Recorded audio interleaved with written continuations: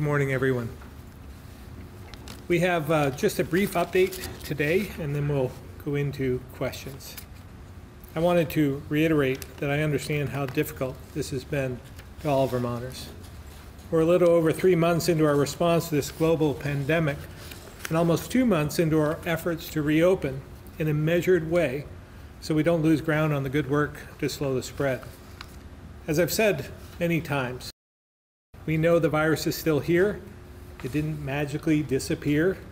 It's still among us, which is why we must continue to place restrictions uh, on uh, in order to smother the embers that exist with COVID-19. So we don't have to, uh, to put out an out of control fire and have that erupt. It's important to remember how far we've come since March in our ability to manage and contain it. As I said last week, staying home in March and April just didn't uh, flatten the curve and save lives. It also gave us the time to learn more about this brand new virus. Growing our testing and tracing program and supply chains, build our PPE and ventilator stock, and put health and safety procedures in place across all sectors. And we've all learned the small things each of us can and must do to limit the spread including keeping physically separated, washing our hands a lot, wearing masks, and more. The knowledge we've gained and the tools we put in place will help us avoid the drastic actions we had to take in March, allowing us to continue reopening and use tracing and testing to contain outbreaks.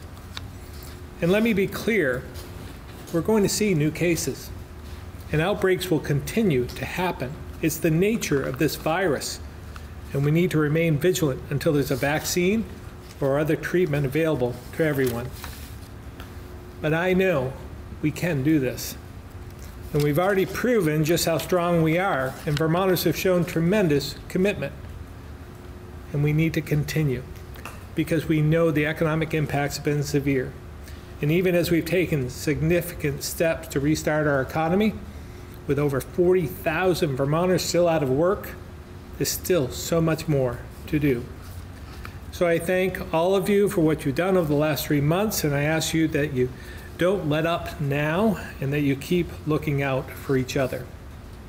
That can mean checking in on friends and family who still may be home uh, to stay safe, shopping at your local stores, going to or ordering from nearby restaurants, or exploring Vermont with a staycation at one of the hundreds of great lodging facilities in all parts of, of the state.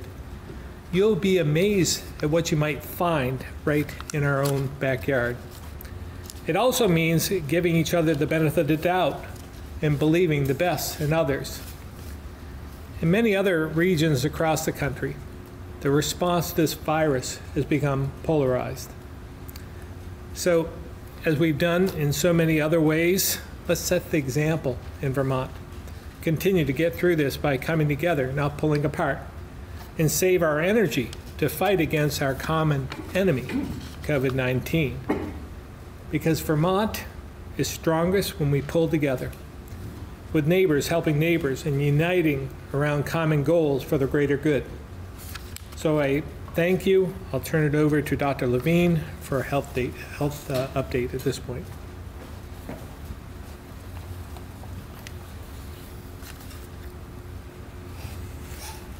And I hope that all of you who are either watching or tuned in are doing that in air-conditioned comfort and being extra vigilant on these very, very hot, humid days. My message today simply is that though the sun is shining, the weather is hot, it's summer vacation season, the state and the country are actively engaged in reopening the economy and life as we once knew it, the novel coronavirus has failed to take notice of any of that. It is here and it doesn't seem to be going anywhere.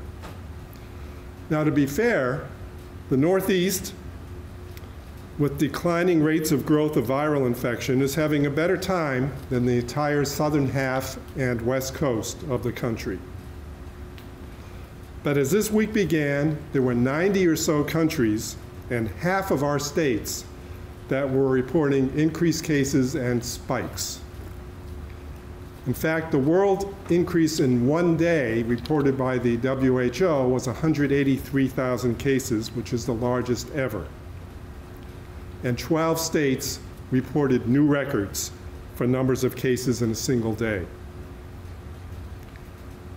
Interestingly, the demographic with the largest number of new cases is ages 18 to 44. Many attribute this to Memorial Day and to other large mass gatherings, though not amazingly to many of the demonstrations and protests that have been occurring around the country and state. The protests that I've seen, both within and outside of Vermont, have shown that protesters have great willingness to comply with public health guidance and prevent viral transmission from person to person. But overall, the explanation for why the states with the largest spikes are having them is widely acclaimed to be a breakdown in the willingness of the public to adhere to the simple precepts of avoiding mass gatherings, hence an inability to physically distance, and to wear facial coverings. Quite a few weeks ago now, I spoke of what our new normal was going to be the state of affairs that would exist between now and when we have a vaccine or an easy to administer vaccine antiviral treatment. I spoke of a time when we would need to continue to live in a state and country and world where there remained four rules of thumb for daily living, no matter how sick of these we got. Stay home if ill, wash your hands like crazy, physically distance, and wear facial coverings. Well, that is where we are. The only difference is the difference in compliance when you've been ordered to stay home versus when the state is reopened. So that is the message I'm here to once again deliver our lives are getting better every day as we restart Vermont, though I know many are still suffering economically and spiritually. But we can't lose track of the fact that the virus hasn't gone anywhere, and we need to continue to be vigilant, cautious, and protective of the most vulnerable in our society and in our own families. With no current hospitalizations and no major growth in our deaths, we are showing what our state and its citizens are truly capable of, but we can't let up. And in public health, as we've said many times here, we expect we will see outbreaks. So our new normal is to quickly respond to new cases or small clusters and prevent them from ever turning into widespread community transmission of virus. Today, our state numbers are 1,163 cases, 926 recovered, 56 deaths. The, Whirlington, the Winooski Burlington outbreak numbers have increased only ever so slightly, with a total case count of 110. Median age continues to be young at 24. 65% adults, 35% children, and only 30% reporting symptomatic illness. A cumulative total of 126 contacts have been associated with the outbreak. 19 contacts have gone on to become cases. We are also involved in several small investigations throughout the state in Rutland County and Windham County predominantly, and have set up pop-up test sites to accommodate local needs. We've also been able to demonstrate the wisdom of our very aggressive protocol surrounding new admissions to facilities where vulnerable populations are housed. We began this in long-term care facilities where it continues uh, to function we expanded it to correctional facilities.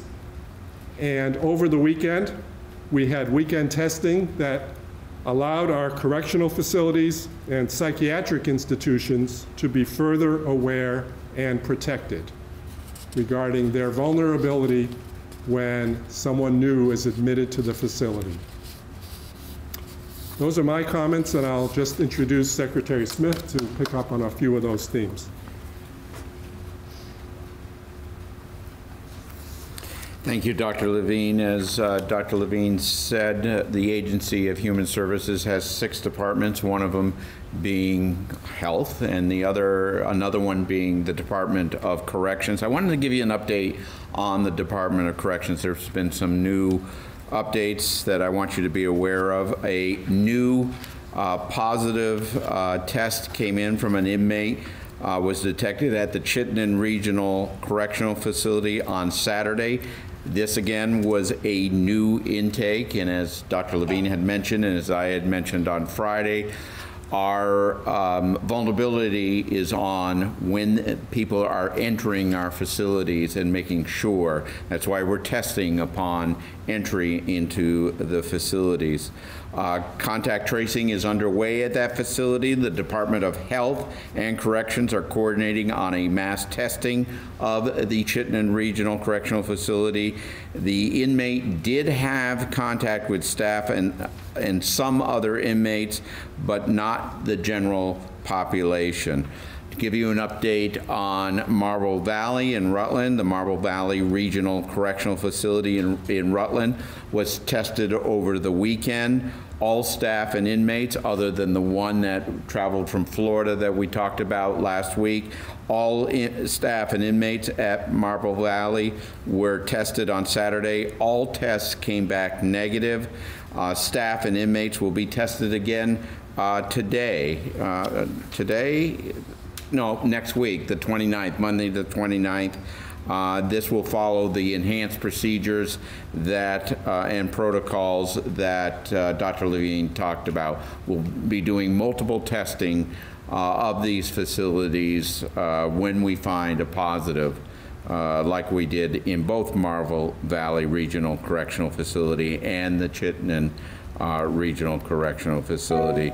Um, Just to give you an update, I mentioned it last week on Friday that we are restarting the investigation into corrections, the independent investigation into corrections that we began last February. Uh, that was suspended for the health and welfare of the inmate population during the COVID-19 response. I expect that that investigation will be up and running within the next uh, 14 days. Uh, w- And we'll use all protocols, testing protocols, to make sure that the inmates are safe with visitation of the various investigators. That's the update on, uh, on corrections. Thank you. And with that, we'll open up to questions. Calvin? Thank you. So, Governor, on Friday, the Vermont House passed some $120 million in economic stimulus, um, including there's some, I just kind of want to get your thoughts on that. Then also there's uh, some $20 million for um, hazard pay as well, which I know you originally had some concerns about. Just gather your thoughts on those. Yeah, the, uh, the concerns, first of all, the concerns with hazard pay was whether they would be uh, able to be utilized uh, through the guidelines that the, the Treasury has, has outlined. So that's still the case. Just want to make sure that we're able to, uh, to administer that and uh, without the clawback and asking for them to return, uh, the the Treasury to return the money. Um, As well, they're moving in the right direction. Uh, Obviously, it's just a house. We have to make sure that we understand when we see the headlines that the, uh, the House passed something, that's only halfway. Uh, Need the Senate to, to come in and put their thoughts in place as well. Um, I'm still a little concerned uh, about the capacity. Uh, The package we put forth uh, was simple, uh, broad, uh, and tried to, to put the money out as quickly as possible into the hands of those who need it desperately. Um, They're still short, if you take the whole, whole amount of money in aggregate, they're still short money that we had proposed. And they put in some, some guidelines that uh, make it a little more complicated, so I'm concerned about that as well. Uh, But again, moving in the right direction, we'll see what the Senate does at this point. And then uh, my next question is just for um, Commissioner Harrington, if he's on. He's not on the, on the line today, um, but if you uh, maybe pose the question, we can get the answers for you if if we don't know them or I don't know them. Uh, I can just follow up with Liv or, Okay. um, afterwards, but I guess just last follow-up question then. So, um, Dr. Levine, you mentioned investigations in both Windham and Rutland County. I guess what, what are you investigating uh, at this point? So anytime there's a positive test result, that's an immediate connection with someone and an investigation is launched.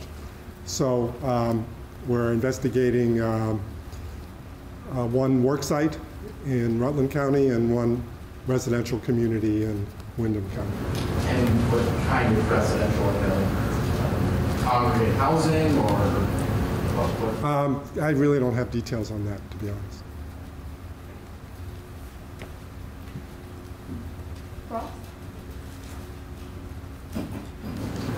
This might be for either the governor or Dr. Levine. Just curious, with a lot of ski areas and other recreational places are starting to open up for their summertime activities, whether that's mountain bike rentals or gondola rides, things like that. Curious if any specific guidelines have been provided to those types of recreational businesses, especially since they cut their season short back in March for the ski season, um, you know, to help them get moving faster and make sure that those big attractions are doing so safely.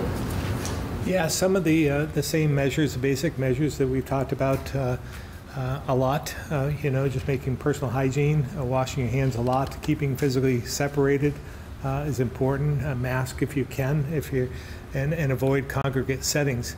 Um, I think Secretary Kurrle might be on the phone as well. She might be able to elaborate on some of the conditions with the, the recreation aspect.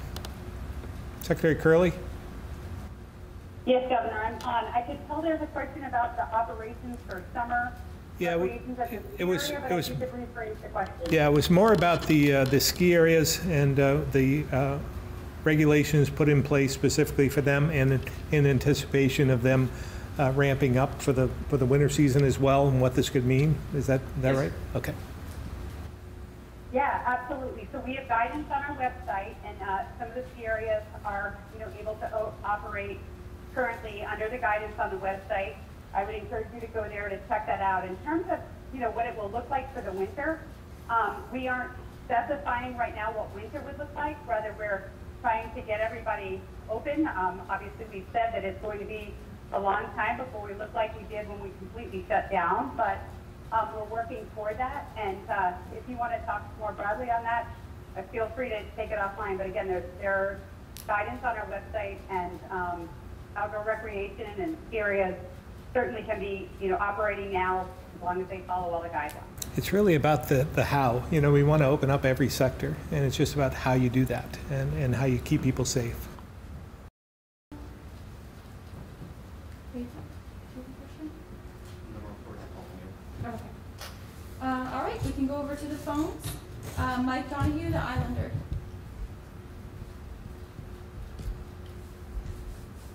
Uh, This is for Governor Commissioner Schirling. The uh, free food distribution program during COVID-19 is an important program. But like any government program, there's waste and fraud. It appears some people got free food and turned around and tried to sell it to make money. A reader from Burlington shared a screenshot with me with one person showing the food she was trying to sell Another person on Facebook called her out, and she claimed she had no place to store the food, and somebody suggested donating it to the food shelf. I'm wondering what the state is seeing in the way of fraud or food getting into the wrong hands in this important program. Yeah, Mike, I had not seen that, and, uh, you know, that's really unfortunate. This is a, a program that uh, many Vermonters need, and that's why we want to make sure that we put it in the hands of those who, who need it uh, the most. Um, I'm going to let Secretary Smith uh, talk a little bit about the food program, because we've been, you know, trying to highlight that, uh, where we saw the, the lines uh, that, uh, that had evolved uh, when we, we opened those, those um, distribution sites up. And we're concerned about the people who weren't there, those who didn't have vehicles and so forth. So Secretary Smith, do you want to elaborate? Sure, Governor, and thank you very much, uh, Mike, for the question. Obviously, we'll look into anybody that is committing fraud in these food distribution, um, this food distribution program. This is a great program. Um, The Farm to Family program that you've been seeing is a great uh, program. I do have a a few concerns with, with the program. Um, From my perspective, there's four solid reasons to find a better way to distribute food than the current system. First, there is the public safety aspect of this. Uh, people waiting hours in cars, especially those with small children and older Vermonters on hot days like today in the summer, is just not safe. Uh, second, people have been frustrated by the long waits, especially when the food runs out, or they simply turn around um, discouraged by the lines. And then third, we need to get those, and I've said this from the podium before, we need to get those um, in need uh, onto sustainable programs, uh, food assistance programs, SNAP or Three Squares as we call it in Vermont. And fourth, we need to give those in need some dignity in how we distribute food to them. So the registration, uh, we put in place just recently a registration program that has three fundamental goals. It makes distribution more effective and efficient without the long wait. Uh, people will not be frustrated or discouraged. In fact, the registration system has not resulted in any uh, recent reductions in participation. It's also safer for the participants, and it allows for the distribution of more sustainable program information. Three squares, for example. Uh, for example, beyond that, just so that all Vermonters know, we'll continue to help with the, distribution as appropriate, but we need to get the um, the Farm to Family program, which is, again is a great program, by the way, and I thank our partners um, uh, in the food distribution network, food shelves in particular, um, back to our normal food distribution channels at the lo local food bank level, where there's more predictability and sustainability. Um, we, the state, and the Guard, which you've got to call out the Guard here, they've done an amazing job uh, can assist where there are gaps and will continue to assist where there are gaps. But the quicker we can get back into our existing food distribution infrastructure, the better. And maybe eliminate some of the things, Mike, that you're bringing up. Uh, in your comments. None of this food distribution, and I, I, this is important, none of this food distribution on a statewide level would couldn't have been done without the dedication and coordination of the state and guard in partnership with local food banks and anti-hunger advocates. Our goal of getting food to people in need is um, is demonstrable and mutual. And what, what's the level of fraud you're seeing?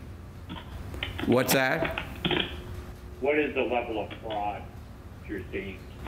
We, we have not been aware of any fraud at the moment, but we certainly will look in based upon what you have, uh, what you have raised.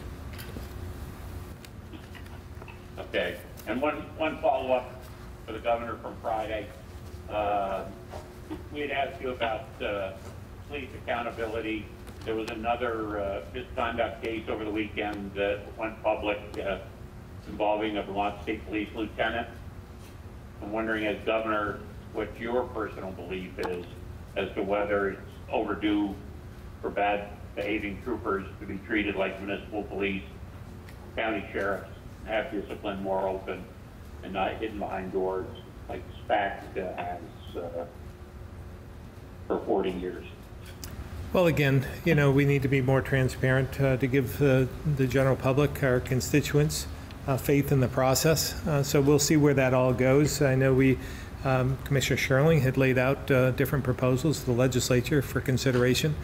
Uh, and uh, body cameras was one of those considerations that we think we, we should move forward on, but we're willing to have the conversation across the board. I'm talking more about the actual discipline when somebody does do something bad. Yeah, again, Or w- proper. wi- yeah, willing to have the, the conversation, and I believe we're going to have uh, more conversation. It won't be just in this legislative session, but I would suspect uh, ongoing, uh, even in the next legislative session. But you personally favor more transparency than what's been going on for the last Yeah. three years? I- I'm not going to comment on what's been going on. I just believe uh, basically and fundamentally in more transparency. I think that we need more faith and trust in government, and, and you do that by being transparent. Thank you very much, Governor. Appreciate it, Mike. Avery, WCAX. Governor Scott, can you give us any indication about what spigot turns we might be expecting Wednesday or Friday?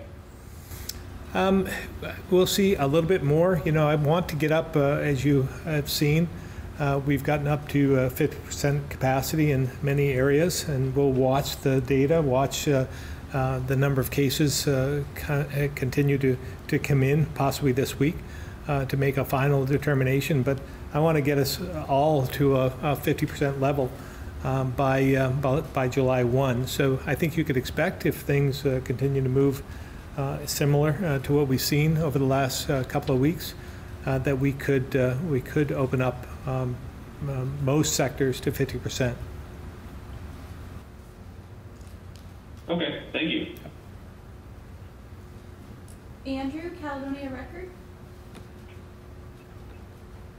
Yes, good morning. Uh, Thanks again for taking all these questions. Uh, This is for Dr. Levine.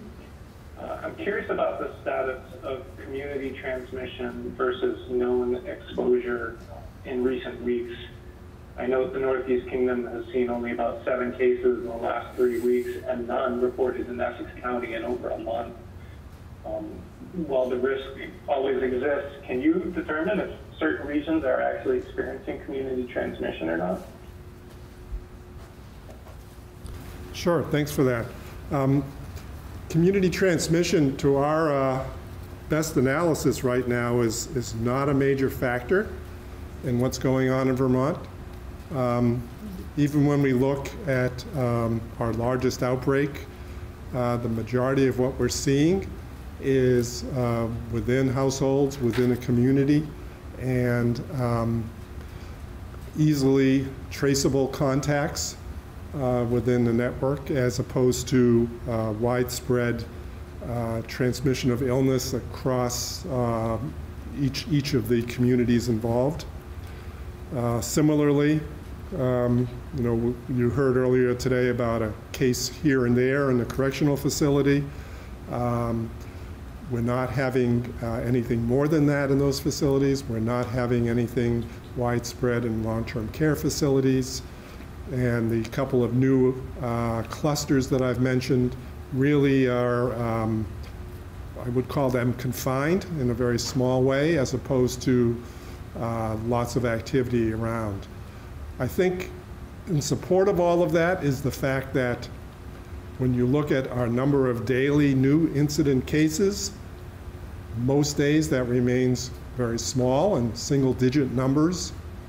When you look at the percent of our tests that are positive on a given day, that continues to be well below 2% and often below 1%. So we would see some of those concerning indicators really starting to move in the right and the wrong direction if uh, there was community transmission occurring.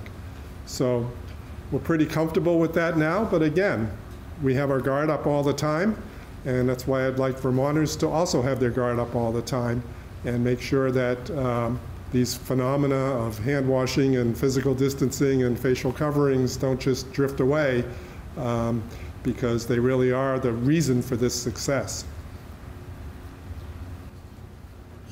Thank you for that. Follow-up, you you were starting to to touch on it. Um, What advice would you give to people that are allowing fear of the virus to interrupt plans that might otherwise be allowed by the state's guidelines? Um, d- Do you see a point where, um, you know, a healthy caution develops into something that is excessive? Yeah, so I, I, I like fear to be appropriate fear, and not inappropriate fear. So when I've talked about those who are, you know, uh, of older age or um, have some chronic conditions, we are not telling them to do nothing. And I've tried to emphasize that very, very clearly. Um, but to be very measured in their approach and to choose wisely. Not to choose something that might put them at higher risk because of the size of a gathering or their inability to really physically distance in that setting, but to choose something that they'd be able to have more control over themselves, but still be out and about and doing things that they enjoy to do in Vermont. So I'm not hearing that fear is playing a tremendous role in our population right now. Um, and so I wouldn't want people to get overly carried away because I've said the virus is still there and you're going to encounter it. Uh, the reality is the virus is still there, but you don't have to encounter it if you try to play your cards just right and do all the things you want to do in a controlled way that I've sort of uh, emphasized.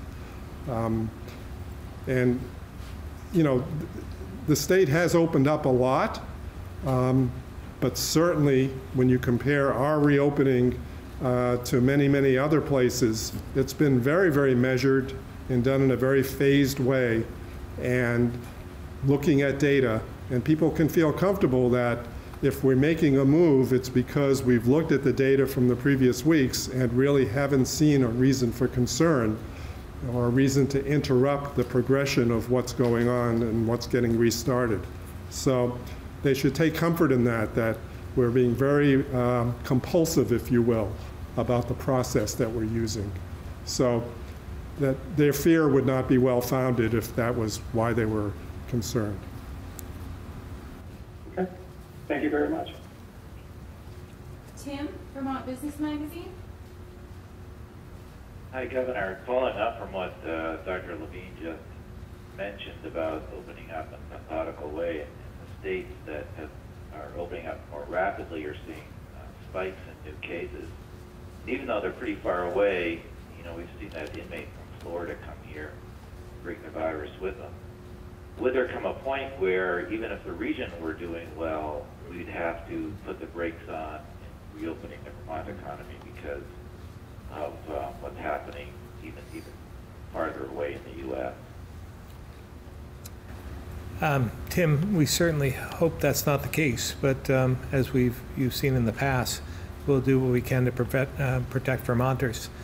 Um, we've um, we've been doing this slowly, methodically, measured, um, and opening up the region. I think you'll see more of that. Uh, we're seeing some some good news in some of those hot spots like uh, New York City, uh, New York in general, uh, as well as in Massachusetts uh, New Jersey and uh, Rhode Island, so Connecticut as well. So we're seeing some some some good news, and uh, um, so in the future uh, we'll continue to expand uh, the Northeast, uh, possibly to other states as well, so that we can enjoy some um, more tourism and guests here in the state to get back on track to where we we should be. So.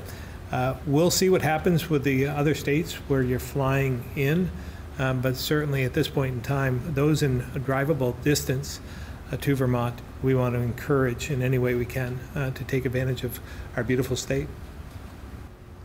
Uh, and Governor, could you comment on the racial incident at Talladega last night? I know that, that NASCAR is something you follow quite closely, and it's um, been a, a very big news story today. Yeah, yeah, really uh, disturbing uh, and concerning. Um, but I will say this um, NASCAR uh, has been a leader on this front. Uh, Bubba Wallace with the 43 car, uh, who, uh, who's been also an advocate for not allowing the Confederate flag on the, on the premises of any NASCAR event and was successful in doing that. NASCAR followed suit.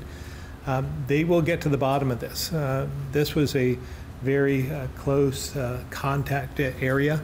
Uh, not many uh, people were allowed into this garage area, uh, so they, they know who they are. And, um, and I have no doubt uh, that they are working feverishly to put an end to this. It does highlight the fact that um, just by, by uh, this regulation uh, doesn't mean uh, the policy, uh, the, uh, uh, the situation uh, goes away. Um, We have so much more work to do collectively as a country uh, to make sure that we, uh, again, put, put a stop uh, to this racial inequity, uh, and we listen to one another, and we listen to the, uh, the black community in particular. Um, So uh, the good news is they're taking this seriously. Uh, They'll get to the bottom of it. Uh, Of course, the concerning news is that it happened at all. And, uh, but it shows just how far we have to go uh, to put an end to this.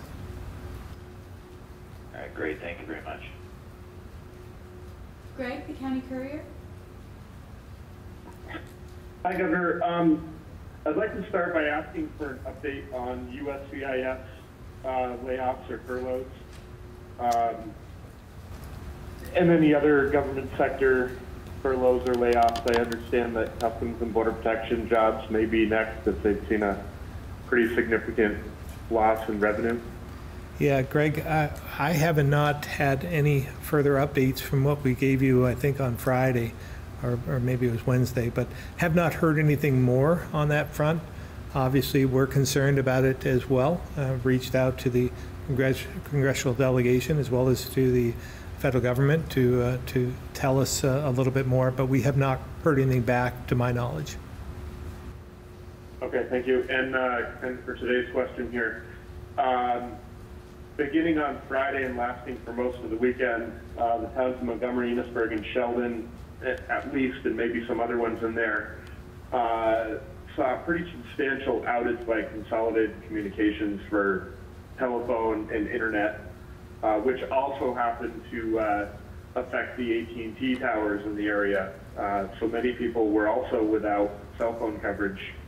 Um, spoke to one business who, you know, after struggling to get through the shutdown, wasn't able to even process credit cards over the weekend. So they they were very limited to just cash. Um, your administration has proposed uh, tens of millions of dollars in, in federal CARES money to be spent on high-speed internet.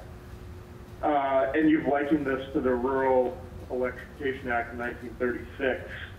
Um, of course, if electricity only worked a few hours a day and you never knew what hours it was, we wouldn't really rely on electricity like we do today. So, how is your administration going to uh, make sure that this money is being used to build out infrastructure that's reliable?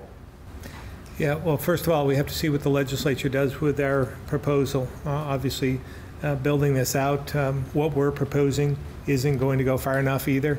Um, We need a uh, congressional act in some respects, a federal action as a result of this. I think we, it highlights the need uh, throughout our country for high-speed uh, internet, as well as, you know, broadband, uh, as well as uh, making sure it's reliable. I think that that's important as well, uh, maybe even more important. Um, So we'll, uh, we'll continue to advocate for that. I don't believe I have anyone on from the Public Service Department uh, to comment on the consolidated uh, issue that they had on Friday, Um, but I will certainly ask the commissioner and ask her to give you a call for, for comment on that. That'd be great. And uh, just one more quick question that I've been hearing the last couple days from people in the area on this. Uh, two years ago, high-speed broadband was a major talking point in the campaign, uh, and pledges were made by Christine Hallquist to expand broadband throughout the state. Is it fair to say that Vermont would have been more technologically equipped for this pandemic had she been elected in 2018? Um, I, I have no idea. And the money still has to come from somewhere. Um, my, uh, my issue uh, in that respect, I think everyone agreed uh, that uh, we need more hi- higher speed, uh, more accessible broadband throughout the state. Uh, But it was a question of where was the money going to come from? Uh, the question is still there. Uh, without federal action, uh, without uh, without spending hundreds of millions of dollars, uh, we won't have it. So we uh, received this CARES money. Uh, we are proposing to use part of that uh, for higher uh, speed, higher capacity, and uh, more widespread uh, broadband. And I think that the legislature feels the same way. But even that money doesn't go far enough. It's just not enough to to satisfy the need. So Um, Again, that, that's something that I don't know how we would determine that, uh, but what would we have done without, had we uh, spent hundreds of millions of dollars uh, for high-speed broadband over the last two years? And we have moved forward. I mean, our, our Department of Public Service has, uh, has done a lot in this regard uh, with the, with the, more of the community um, um, initiatives that we've, uh, we put forth. And um, again, uh, utilizing some of the money that we're receiving uh, from the CARES Act would be appropriate, but we need, uh, we need more federal action for this to be significant. Thanks, Governor. Joe, the Barton Chronicle. Hello, Governor. Um, given the apparent lack of uh, more uh, COVID cases um, after significant uh, numbers of people out in the streets for the demonstrations, um, is this information um, going to be factored into decisions about opening um, outdoor events more than have been the case so far? I mean, is this useful information? Yeah, yeah, I, I would, uh, I would say so. I, I've said this uh, from the start. It might tell us uh, something about the spread of the virus. It might tell us something as well about um, the number of uh, protesters that we saw um, exercising their First Amendment rights and uh, and being masked while doing it. Uh, I think that uh, that tells a lot. So if we can do this safely, uh, we're not trying to punish anyone, but we're utilizing the information we have available to us at this point. We had to to first reduce the the congregate settings, the number of people getting together, uh, but it does, uh, you know, somewhat tell us uh, a story. And if we can prove that we can have more people, which we've done, actually, we've we've allowed for more people uh, to to get together. Um, this this might be um, something we'll learn from this. Dr. Levine, anything uh, you want to add in that regard? He's shaking his head no. So. 150. Yeah, yeah, we're up to 150 at this point. Um, But, but again, you know, this might uh, uh, tell the story about how we can open it up further, which is our, our intention, is to continue to, to expand in a methodical way. Thank you. Kat, WCAX. We've heard many times at these updates the phrase, until there's a vaccine available. How confident are we that a vaccine will be effective, and how much of our state's planning for the future depends on having one? Well, we're not, uh, you know, we want there to be a vaccine that's developed. Um, How soon that is, I'm not sure that anyone knows. I know there are a lot of different entities working on this, and, uh, and I have confidence that uh, they'll come up with something. But it has to be effective. Uh, It also has to be widespread uh, so that we can distribute it to a large amount of people. And uh, so we'll, we'll see what happens in the future. In the meantime, uh, what we need to do is deal with reality. Uh, And that's why we talk all the time about physically distancing ourselves, uh, hygiene, washing your hands a lot, wearing a, fast, a face mask when, uh, when you can. I mean, those types of things, simple things that we're doing, are effective. Uh, So we can't, uh, we can't just wait for the virus or for the vaccine to, to be developed. We have to deal with the reality of today. Dr. Levine? You know, in the scientific community, I, you rarely see the kind of optimism uh, that we're seeing about vaccine right now, um, because a number of the vaccine candidates, as they're called, have already reached phase two and on the verge of phase three trials. And considering the virus has only been here, you know, since February, you never see things go that fast and things get advanced to that level of vaccine development uh, that quickly. It's also felt that the sort of spike proteins that are on the coronavirus that you see every time you see a picture of the coronavirus make excellent um, antigens, if you will, for a vaccine to be effective with. So, um, though I'm not with the truly um, I won't call it fringe end, but the, the, the, the community that feels that before Thanksgiving, we're going to be uh, all vaccinated. I think that's a bit overzealous. Uh, I'm certainly in the group of people who feels that we are in an advanced pace of vaccine development.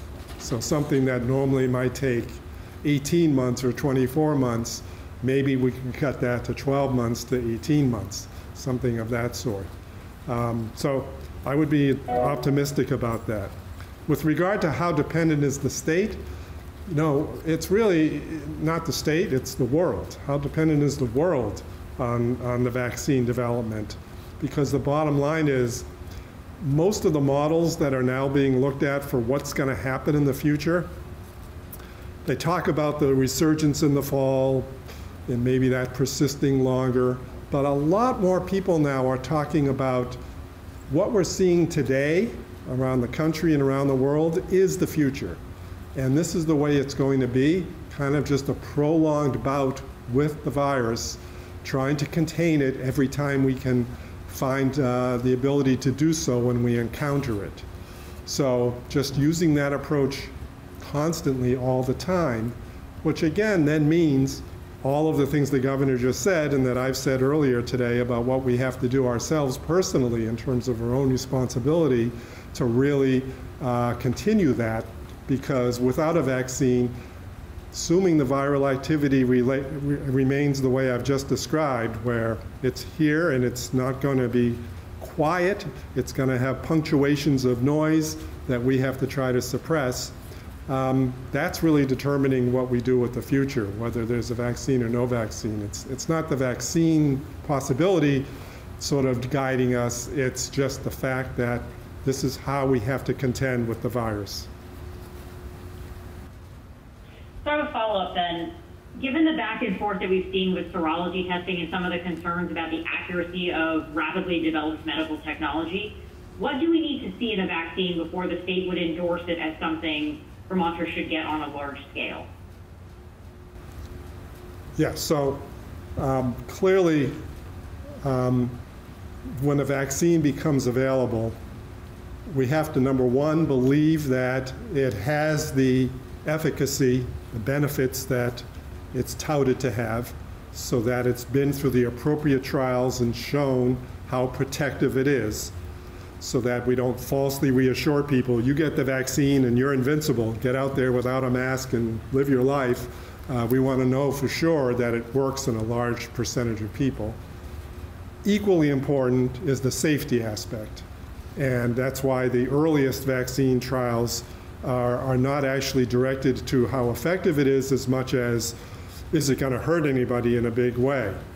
Um, so we need to know that for sure because like any medication, uh, vaccine, not, not that it's a traditional medication, there's always that potential for it to have harm, even though with most of the vaccines we use nowadays, that's a very, very minor percentage of what happens.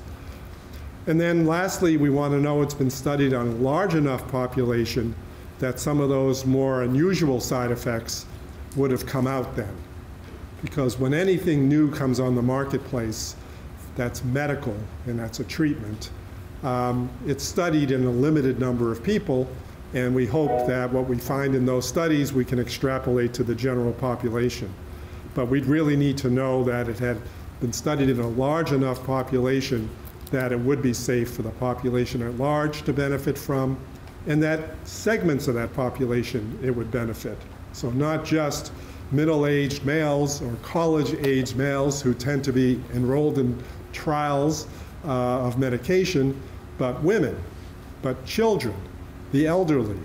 The list goes on. We want to make sure that uh, each of those populations has had a sample in the uh, bigger trials so that we know that it's safe and effective in those.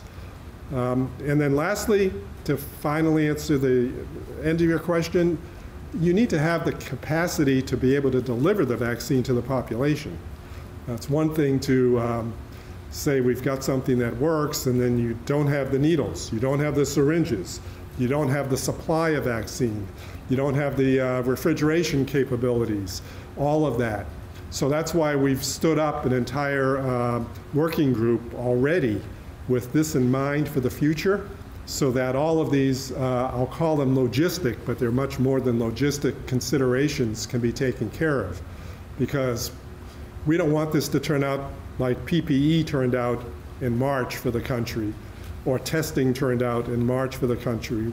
If there's a vaccine and it works, we want people to benefit from it. And by the way, we want Vermont to get as much of it as it can early on uh, and make sure that we get it because we've demonstrated we have the capacity to deliver it to the whole population in a methodical way that we've thought out already and planned for. So does that mean Vermont is already like acquiring supplies like those needles, uh, refrigeration technology, syringes, things like that? Or is the working group working on like where would those come from still? Yeah, the working group is really developing their entire process, task list, uh, supply needs, everything. Um, we figure this is way early enough. Uh, we're here in June, and if we have this together in a couple of weeks, we'll really know what we need to be accessing. Just like with uh, PPE, you know, where everybody's hypothesizing about a need in the fall, well, we've been planning for the fall for, for a while now, and we're, we're still planning for the future in terms of making sure we have more than enough, not less. Thank you. Chris Mays, Brattleboro Reformer. Hi, uh, good afternoon. I was wondering if um, if you can say what um, what factors define a cluster and um, and trigger a pop-up testing site. Dr. Levine. Sure. Um, so obviously, you don't know anything until you have one case. So that presumes that either clinically someone's determined someone has COVID or through a test site for whatever reason, the person was symptomatic, not symptomatic, or needed to get a test for another purpose, whatever, but they've turned positive. Um, or maybe they and other members of their family have turned positive, or other members of their um, work site, what have you. Uh, so you quickly assess uh, exactly what are the characteristics of the couple of positives you've seen, and then that's when the work of uh, interviewing and what we call contact tracing occurs. It's easy enough to connect with the first couple of people, give them instructions as to isolation and what they need to do and how to uh, work with their healthcare providers, medically speaking. But then it's really a matter of determining what the risk level is for those who surround those people. So um, if we're going to call something a cluster, it generally means there's a couple of uh, index cases, if you will, and we feel that there's sufficient risk that uh, a pop-up site would be appropriate so that those who were at risk uh, don't have to jump through a lot of hoops to get tested. It's made very easy for them um, bringing the testing to the, to the door, so to speak. So it makes it much easier to, uh, early on, identify who's at risk, who may actually uh, have contracted the virus, and uh, who uh, is just at risk but would be at high risk of developing illness and then giving it to others so that we can manage the, the, their uh, isolation appropriately.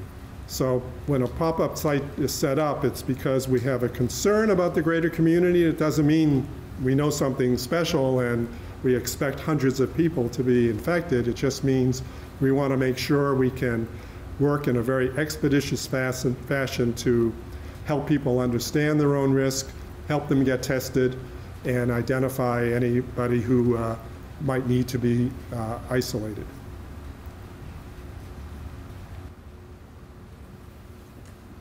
And I was wondering if more information will be made public about what inspired the sites in, in Rutland County and, and Windham County.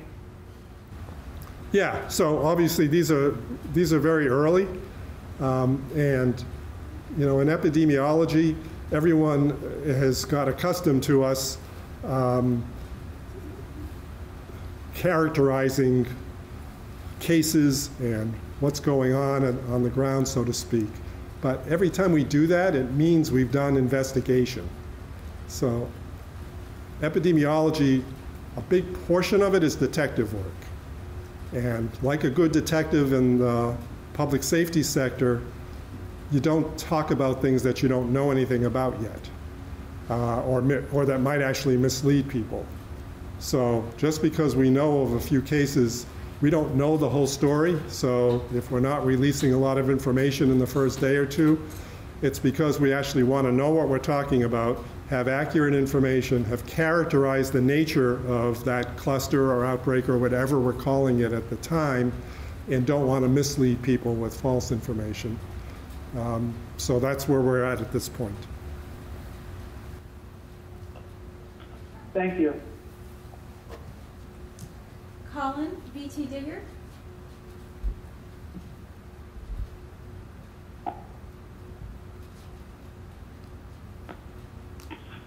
Yeah, hi, thank you all for your time.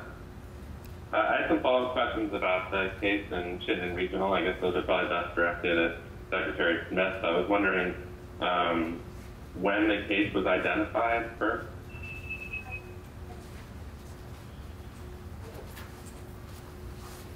Thanks, Colin. The case was identified on Saturday.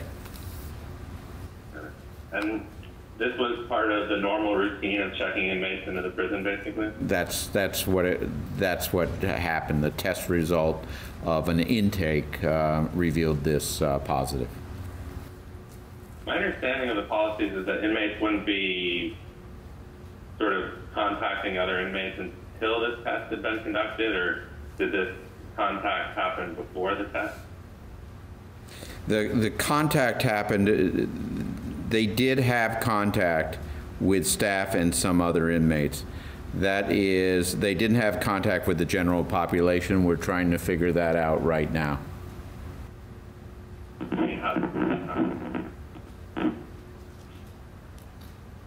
You broke up a little there, Colin. Could you repeat the question? You mean you're, you mean you're trying to determine how they came into contact with other inmates? Yes.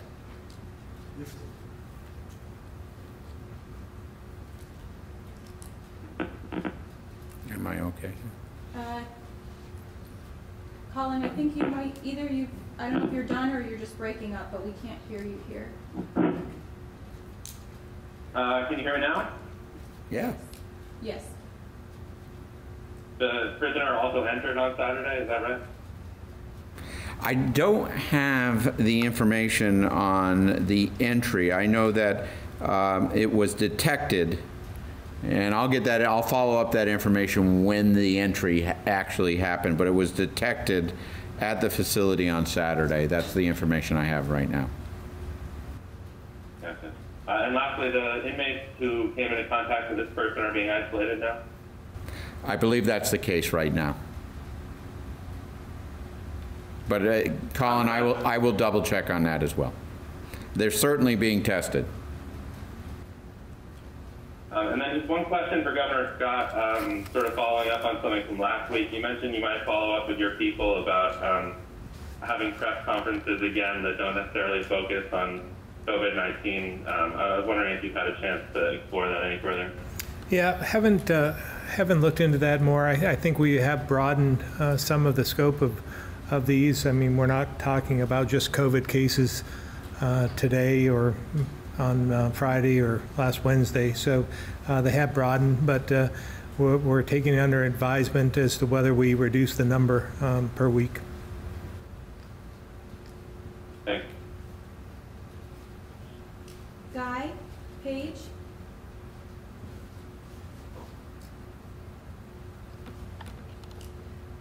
Guy Page?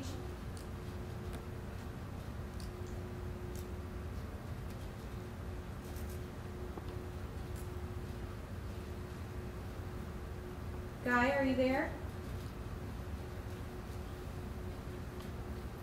All right, we'll go to Kevin at VTDigger. Good morning. Um, this is a question for whoever would like to answer it. Uh, I'm here in Brattleboro. Uh, I saw the pop-up testing uh, on Sunday and then drove about 10 miles north on Route 30 to a very popular swimming hole where I counted about 100 out-of-state calls or out-of-state cars and trucks. Uh, none of those people were wearing masks, and likewise, when I was interviewing people in terms of did they understand Vermont's quarantine uh, guidelines or Vermont's travel guidelines, pretty much they all said no, or they felt that because it was just a day trip uh, across the border that they didn't count. I guess I'm sort of, are you hearing similar stories in terms of issues with swimming holes during this heat wave? And likewise, is, is there a reaction or response to that kind of a story?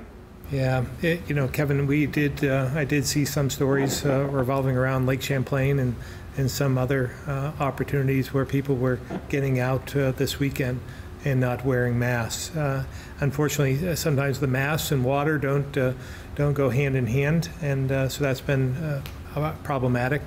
But it is concerning the trend that we're, we're seeing in some areas. Some are, are very proactive, wearing masks, and other areas not as much.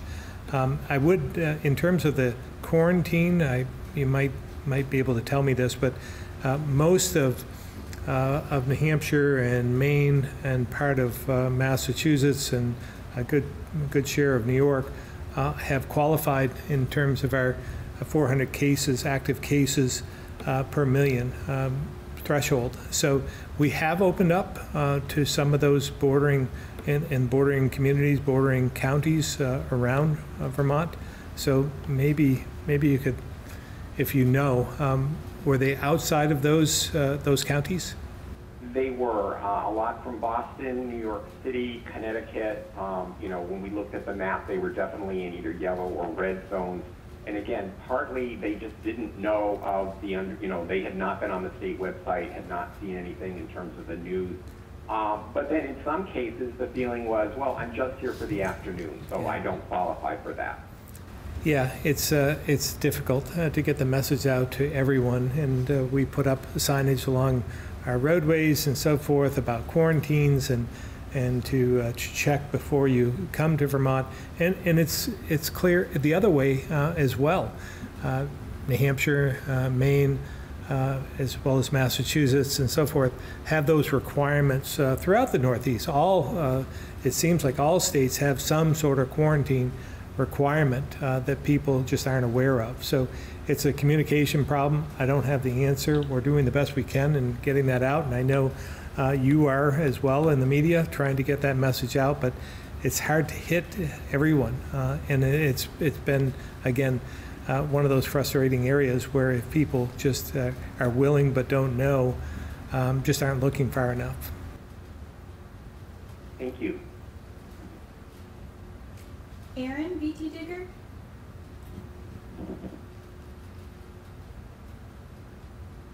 Uh, some of our readers have been asking uh, when municipal playgrounds will reopen. I was wondering if you give any thought or have any plans related to that.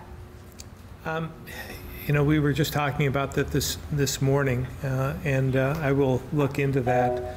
Um, certainly, the playgrounds are somewhat problematic uh, because there's a lot of uh, hygiene issues, kids touching everything. Uh, and so that that's, uh, that's been a concern of ours, but I really, I don't have the answer to that, but I'd be, um, be willing to, uh, to take a look and uh, bring that up with a group. Is there any discussion of, you know, what measures you could take to kind of mitigate the um, sanitary issues? Um, you know, I, I, I just don't know at this point in time until we have the conversation. I know why we closed them. Um, and, uh, and as you might imagine, it would be difficult for uh, someone to be wiping down all of the, the slides and, and, uh, and, and, so forth uh, that, uh, that we have, all the touch points we have in a recreational type of out, um, facility, especially with kids. Uh, so we're, we're going to have the conversation. I just don't have the answer for you at this point in time.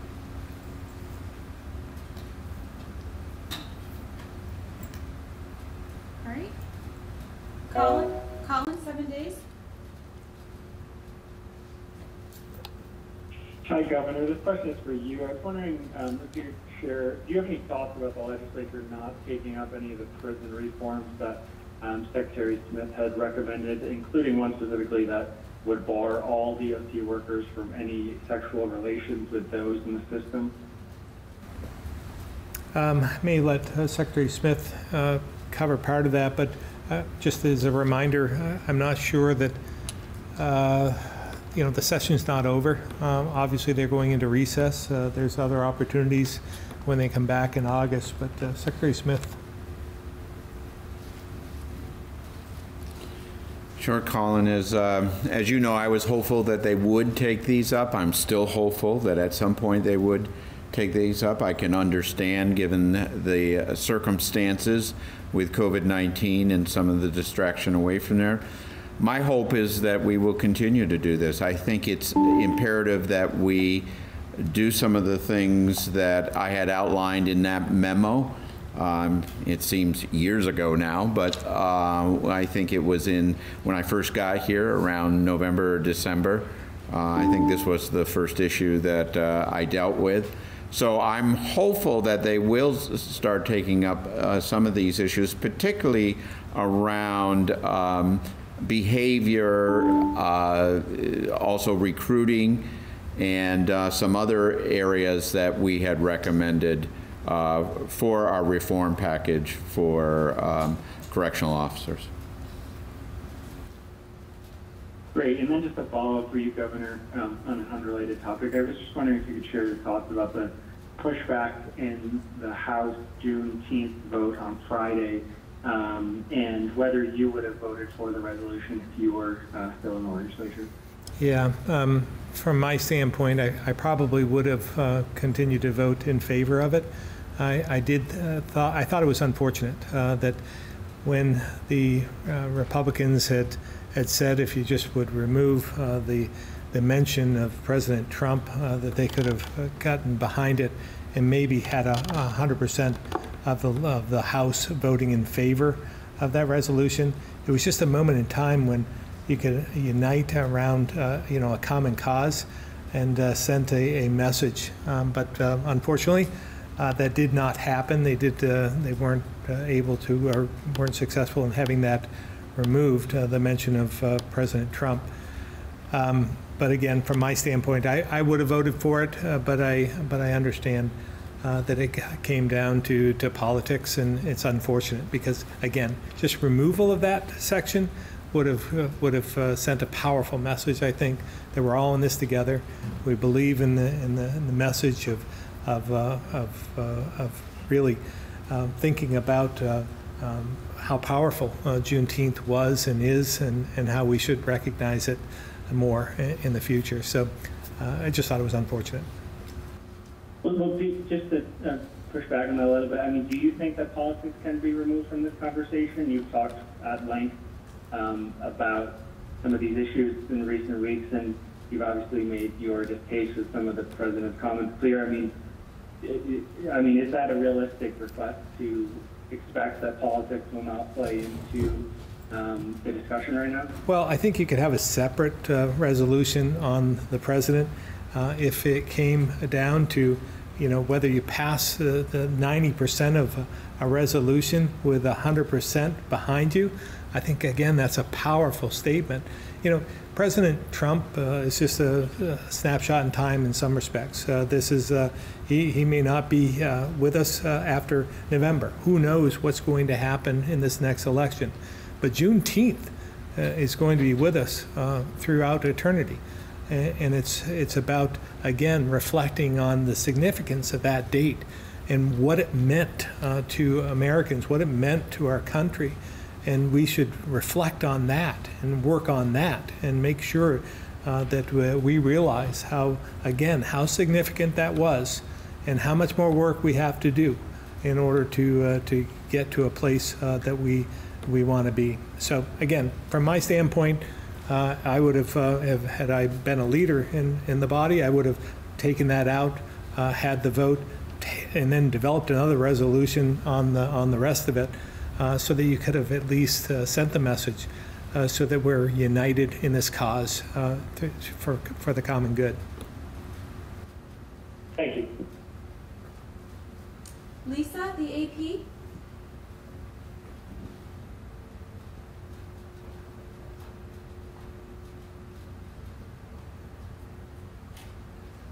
Lisa, AP?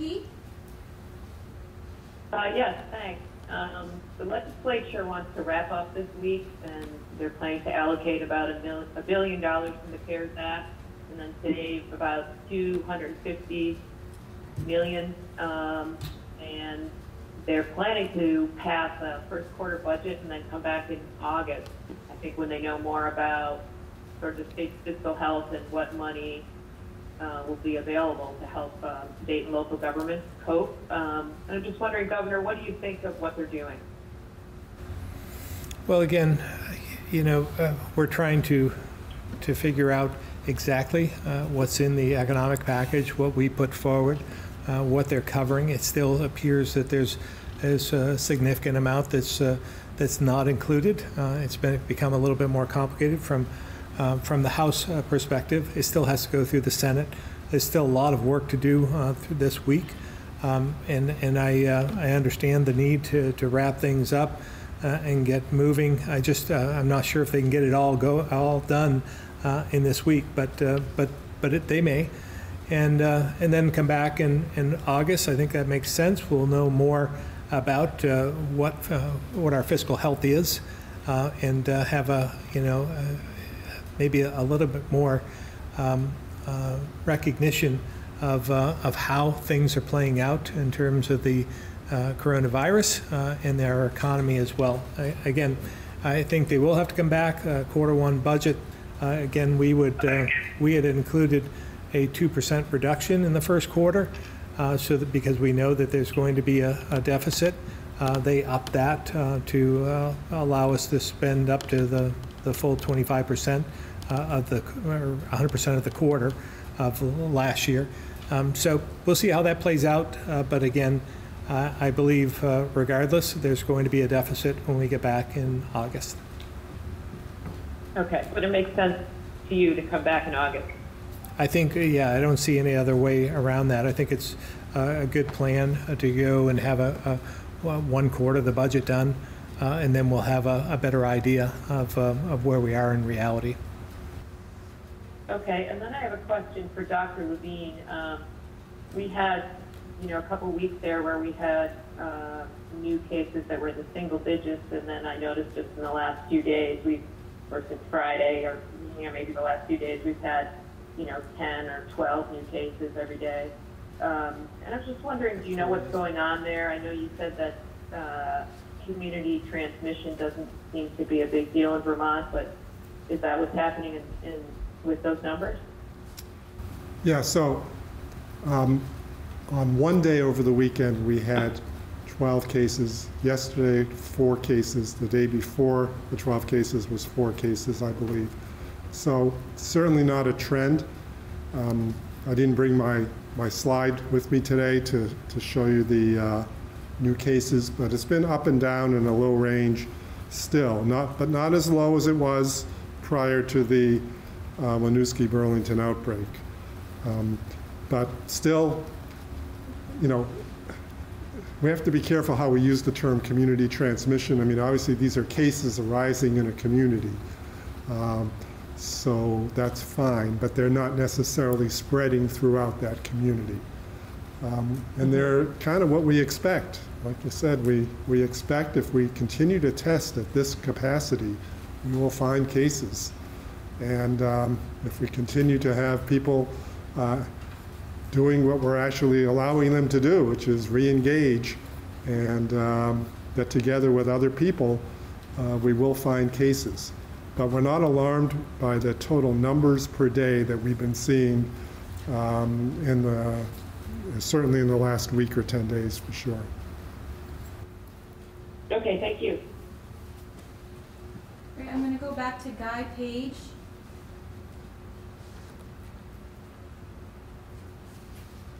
Hello, Governor. Yesterday, a parent of young children asked me to ask you, quote, why our playgrounds are still cut up with more wire than an East German border crossing.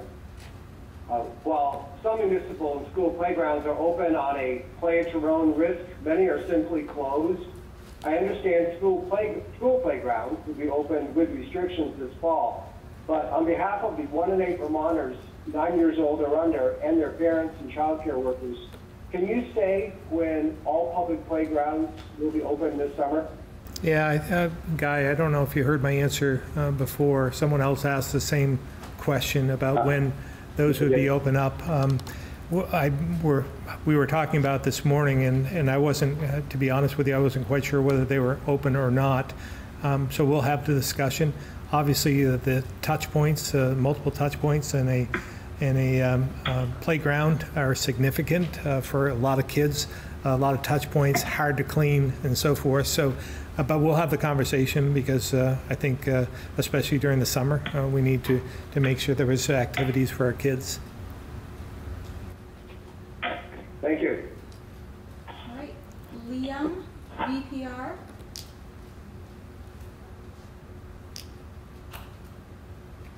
Hi, uh, Commissioner Levine. Um, last week you talked a little bit about how you were waiting for more information on the in the Burlington Community outbreak to sort of be able to define whether it was boxed in, contained, sort of like what stage we are at. Um, do, you have a better sense now of, of what stage that situation's at? Uh, Sure. Um, It's, I- it's so common to use the forest fire analogies these days. Um, So I would use the term smoldering. Um, It's not completely over. We know that we haven't even gone through that additional 14-day cycle that we wanted to go through. But um, the most recent cases that have been added to the list to get to the 110, some of them are true new cases. A number of them are contacts that converted to cases. And a number of them were cases that we already knew about in the community and had already been tallied up as a case in, in Vermont, but we hadn't attributed it to the outbreak itself. So um, I, I'm still, you know, obviously we're doing what we can to contain it, and we're doing a great job actually. But the bottom line is to say that it's fully contained, it's not quite there yet. So I'm going to have to hedge with you again um, and just say that um, until we really don't have anything new associated with it, it's not 100% over. But clearly, We've received incredible compliance by all who have been affected by this, and uh, there's every indication it's going in the right direction. Mhm. Um, and back to uh, the following up on a question that was asked earlier about these new uh, clusters, or, or I guess you're trying to define what they are in Windham County and Rutland County. Um, you know, can you give some specific details? I know you're you're still in your investigative phase, but uh, about the scope. I mean, are you talking about less than five cases, more than five cases? Just what are the parameters and specific details that you can give now about those clusters? Sure. So, so only aware of two affected individuals in the Rutland County. Um, but we're aware that there may be others who may have symptoms, so obviously we're awaiting testing there. And in Windham County, um, two adults and four children. Great. Um, and then finally, to, I wanted to follow up, um, Governor, with you on something you mentioned right at the, the very beginning of the press conference. Um, you spoke a little bit about how we might need to continue to place restrictions to smother the embers of this virus. Um, you know, in the early days of this pandemic, you, you kind of signaled a lot to Vermonters about when you might be placing new restrictions on the state. And I'm wondering, are, are you doing that here? Is there anything that's happening that you're seeing as, as concerning that might cause you to uh, restrict some of the opening that we've been seeing in the state right now? No, not at all, and not at this point in time. I'm Just forecasting that, uh, uh, that if we have to, we'll put those into place. But uh, at this point, uh, we're still opening up, and hopefully uh, we'll have some more announcements by the end of the week. And, you know, with, at risk of being too much of a pessimist, I mean, can you sort of share a little bit about what might cause you to to, to go back and place some restrictions? I mean, what, what are the, the numbers that you're looking at? Um, or where would they have to reach? Yeah, I mean, I, I think you can look back uh, in terms of, of what we've done when we've reopened. Um, I'm, I'm concerned about more of a geographical, a number of geographical areas being impacted uh, with outbreaks. Uh, I am worried about the capacity of our healthcare system um, and, um, and just uh, the number of, of uh, positive uh, active cases and so forth. So again, we'll rely on the, on the data, rely on the health department team, the epidemiologists and, and others to determine when that is. But uh, at this point in time, I'm not seeing any, any concern from my standpoint. Thank you. Steve, NEK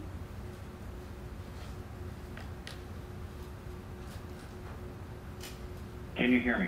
Ken. Uh, Thank you. Uh, Well, one for the doctor and one for the governor, if I may. Um, Dr. Levine, um, we've gotten word up here that um, in the, in the Kingdom area, that there's been no testing of uh, nursing home employees. And given that, you know, the prevalence and danger to, uh, uh, to older folks, um, do you have any plans uh, for testing nursing home employees? I, I believe we have, uh, we have tested nursing home employees, and we certainly have had pop-up testing in the Northeast Kingdom. In fact, I think there was some even today or uh, planned for today or tomorrow. But anyhow, I'll let Dr. Levine answer. So we have an entire um, group between the Department of Health and the Department of Disabilities, Aging, and Independent Living, um, putting together the kind of testing plan that you're talking about for the future. But the future is kind of now.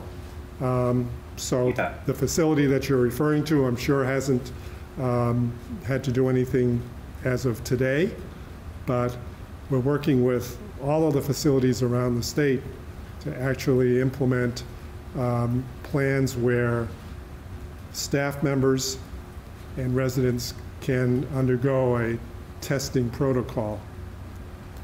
Because we do recognize, just like you said, that these are the most vulnerable. So, So it's, it's coming soon? so it's coming soon, absolutely. Um, Now, they should, you. they should Uh, have still been able to um, implement their um, sort of summertime, out in the open air uh, visitation policy, uh, which we announced last week, uh, in anticipation of actually the Father's Day weekend. Um, But part of the reopening of nursing homes and long-term care facilities, as we're calling that, uh, part of that reopening is actually um, tied into more aggressive testing protocols. Okay, soon then, thank you.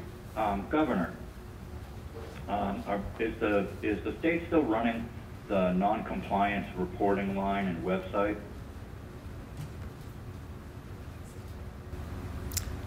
Um, I'll um, Commissioner Schirling.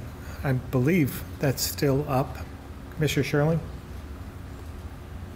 That's correct, Governor. It is, uh, it is still up, although the number of reports has uh, dramatically decreased over time. Okay, and uh, Commissioner Schirling, uh, when will we have, uh, have access to the data? I mean, obviously, you'd probably want to remove the names uh, of the people reporting and things like that. But when will, when will we be able to maybe take a look at the, at the results or at the, at the aggregate of, uh, of of that program? We have been releasing that data on a rolling basis in response to a number of inquiries, so if you reach out to our uh, PIO, I'm sure he can get you the most recent numbers. Okay, and who would that be? Uh, Adam Silverman. Adam Silverman, okay, great. All right, thank you all very much. Courtney, Local 22.